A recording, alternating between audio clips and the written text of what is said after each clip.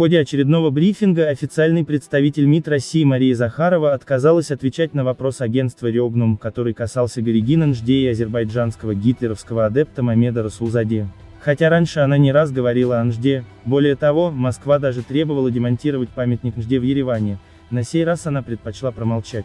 Возможно, потому что вопрос касался уже не только Нжде, но и Расулзаде, которого Баку считает национальным героем. В 2014 году в Баку торжественно отмечалось 130-летие Расулзаде, который, в отличие от Нжде и армянского легиона, пользовался личным фавором Гитлера, поскольку вместе со своим легионом не раз участвовал в погромах русских, евреев, белорусов и других народов.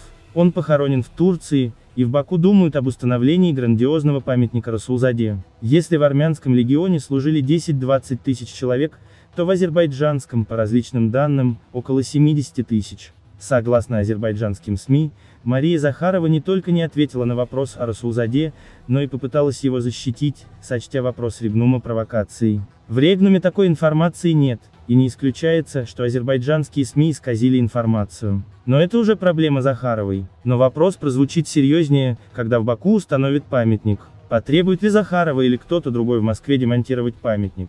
Дело в том, что озвучивание претензий по вопросам НЖД имело совершенно обратный эффект актуализировав тему российско-турецких договоров 1921 года, протоколов к ним касающихся армян, и признание статус-кво в Арцахском республике. На этом фоне происходит признание геноцида армян в Конгрессе США, что ставит Москву в совсем уже двусмысленное положение. Пишите ваше мнение в комментариях, ставьте лайки и подписывайтесь на канал, чтобы не пропустили новые видео.